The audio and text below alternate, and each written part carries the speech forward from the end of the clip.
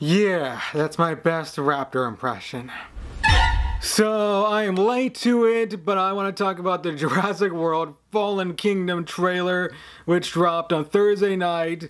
And yeah, this movie has me feeling, well, I don't know what to feel about it because I'm not really too excited about it after watching the first trailer.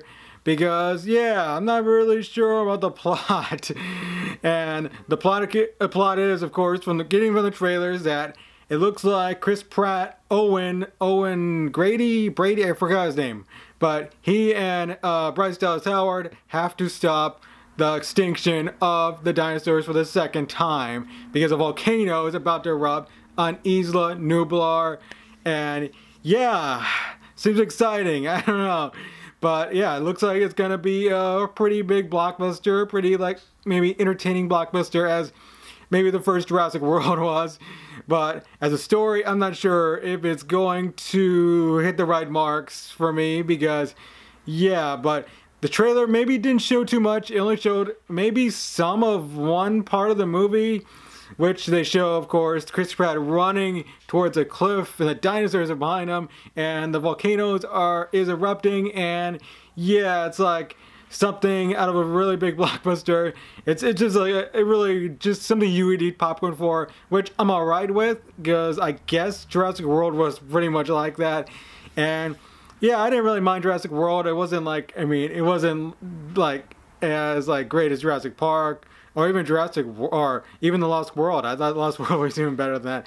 But it was fun, and this one looks like it's gonna be fun. It just probably won't have the substance like the Jurassic World or Jurassic Park and The Lost World had, but yeah, this movie mm, is gonna have a little bit of just Jeff Goldblum, I guess, because of course they show him in the in, in testifying in the court scene, and he's like telling talking about the dinosaurs, and I guess he's probably gonna be on the side of let's kill off the dinosaurs because yeah, you don't know, you, they might take over if we're not careful, and of course he has the line yeah, life finds a way while Chris Pratt's running towards the cliff and stuff. So, yeah, this movie, I really was hoping they would take it away from the island because I'm kind of not excited about going back to Isla Nublar or Isla Sorna. I wanted them to come away with island and get to the mainland because that's where I want them to be.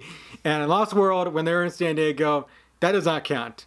That was not proper. That was, that was not ideal. I want this to be on the mainland. And where's BD Wong with his like Bond villain like suit with like the dinosaur like DNA? I don't know. How he's gonna play into this movie?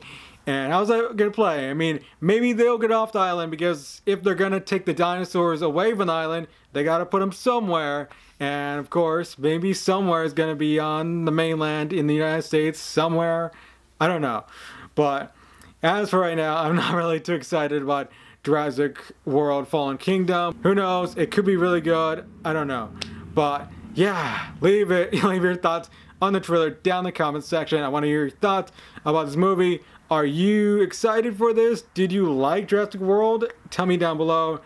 And yeah, so yeah, back at it again on YouTube. If you actually follow my channel, I don't know. I don't know if you follow my channel or not, but if you do, yeah, thanks for watching. Until next time, folks, I will see you guys later. I am out.